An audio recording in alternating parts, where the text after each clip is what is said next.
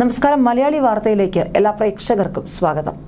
ഇരുപത്തിനാല് മണിക്കൂറിനുള്ളിൽ സൈന്യം അത് ശക്തമായി നടപ്പാക്കി. കൊടും ഭീകരൻ അഹമ്മദ് ദോഹിയെ വധിച്ചു ഇന്ത്യൻ സൈന്യം.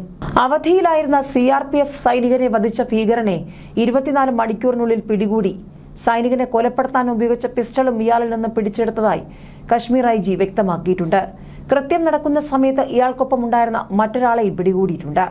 ലഷ്കർ ഇ തോയ്ബ കമാൻഡർ ആബിദ് റംസാൻ ഷെയ്ഖിന്റെ നിർദ്ദേശപ്രകാരമാണ് സി ആർ പി എഫ് ജവാനെ കൊലപ്പെടുത്തിയതെന്ന് പോലീസ് സൂചന നൽകി. ഇക്കാര്യത്തിൽ കൂടുതൽ അന്വേഷണം നടക്കുകയാണെന്നും പോലീസ് അറിയിച്ചു. ഷോപ്പിയാനിലെ ചോത്തിപ്പോരയിൽ വച്ചാണ് മുപ്പത്തിനാലുകാരനായ മുക്താർ അഹമ്മദ് ദോഹി കൊല്ലപ്പെട്ടത്. അവധിയിലായിരുന്ന മുക്താർ അഹമ്മദിനെ വീട്ടിൽ കയറി വെടിവെച്ച് കൊലപ്പെടുത്തുകയായിരുന്നു.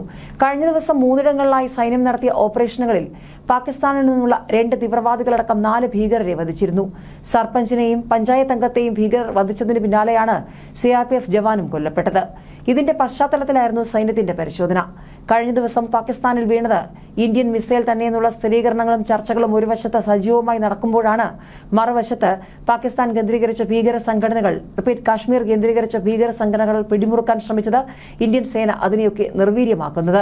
പോയ ദിവസങ്ങളിലും അതിശക്തമായ പോരാട്ടമാണ് ഇന്ത്യൻ സേന അതിർത്തിയിൽ നടത്തിയത്. പ്രത്യേകിച്ച് കശ്മീരിൽ ത്രീ സെവന്റി റദ്ദാക്കിയതുമായി ബന്ധപ്പെട്ടുള്ള അലയോലികൾ തുടക്കത്തിൽ ഉണ്ടായിരുന്നെങ്കിലും പിന്നീട് കാര്യങ്ങൾ ശാന്തമായിരുന്നു. കശ്മീരിനെ വീണ്ടും സമാധാനത്തിലേക്ക് മടക്കിക്കൊണ്ടുവരാൻ ഇന്ത്യ വലിയ ശ്രമങ്ങൾ നടത്തുന്ന സമയമാണ്.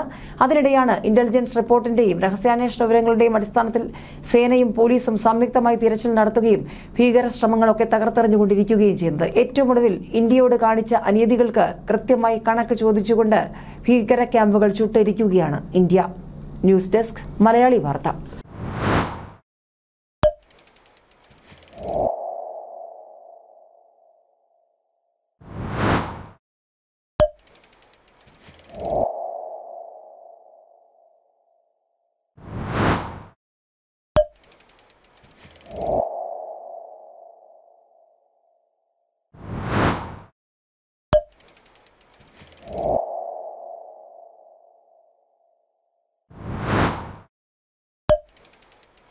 you